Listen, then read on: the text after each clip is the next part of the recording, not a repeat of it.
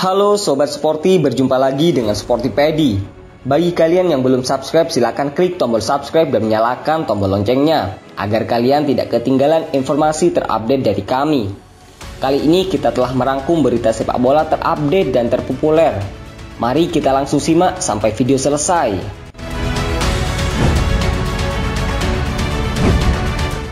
Kapan terakhir timnas Cina lolos ke putaran fase grup Piala Dunia? Jawabannya adalah 2002 silam, waktu yang terbilang lama bagi timnas Cina tertidur. Oleh karena itu, Federasi Sepak Bola Cina melakukan berbagai cara agar timnas Cina kembali mentas di perhelatan akbar itu. Salah satu upayanya adalah menaturalisasi pemain. Tercatat ada lima pemain yang dinaturalisasi sejak 2019 lalu. Siapa saja mereka berikut video ulasannya. Pemain pertama yang dinaturalisasi Cina bernama asli Alucio dos Santos Gonçalves yang berasal dari Brazil. Setelah menjadi warga Cina, kini namanya berganti menjadi Lugofu.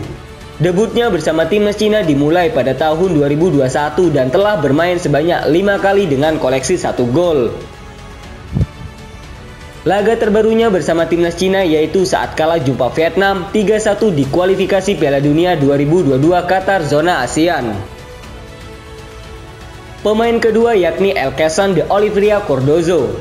Pemain berdarah Brazil tersebut dinaturalisasi Cina setelah lama malang melintang di Liga Cina. Namun tidak hanya lama, ia juga merupakan pesepak bola berprestasi di Liga Cina. Torehan golnya bersama klub Guangzhou mencapai 59 dari 72 pertandingan. Sedangkan di timnas Cina ia berhasil menyumbang 4 gol dari 13 pertandingan yang ia mainkan. Kini ia memiliki nama baru yaitu Aikesen. Pemain naturalisasi ketiga masih berdarah Brazil, Alan Douglas Borges de Carvalho. Ia adalah mantan pemain Red Bull Salzburg, klub Liga Austria. Alan merupakan pemain jeblosan U20 timnas Brazil. Telah bermain sebanyak tiga pertandingan untuk timnas Brazil U20. Lalu ia datang ke negeri tirai bambu pada tahun 2015 dan mendapat kewarganegaraannya di tahun 2019. Seperti biasa, ia berganti nama menjadi Alan.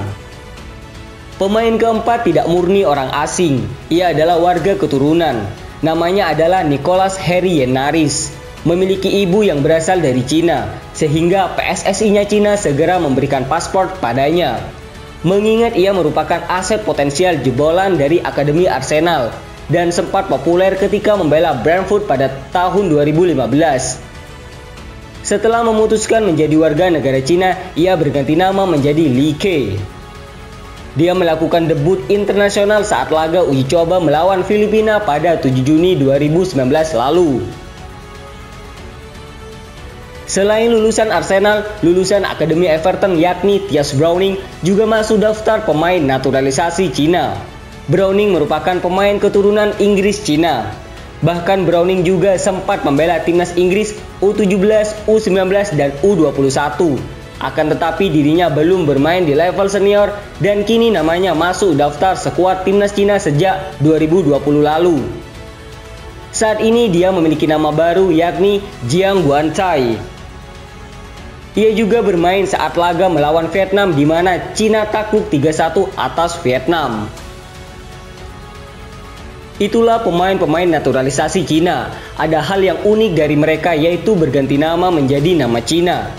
Salah satu tujuan perubahan nama tersebut adalah agar supporter Cina lebih mudah memberikan yel-yel ketika pertandingan. Ternyata ada syarat lain yang diwajibkan pemerintah Cina bagi warganya yang dinaturalisasi. Syarat-syarat tersebut telah kami bahas pada video sebelumnya. Tonton videonya di link di deskripsi atau di pojok kanan atas. Program naturalisasi Cina sejauh ini belum membuahkan hasil. Dilihat dari gagalnya ia melaju ke Piala Dunia Qatar. Bahkan kalah dari negara ASEAN Vietnam. Kekalahan tersebut membuat para supporter Cina kecewa.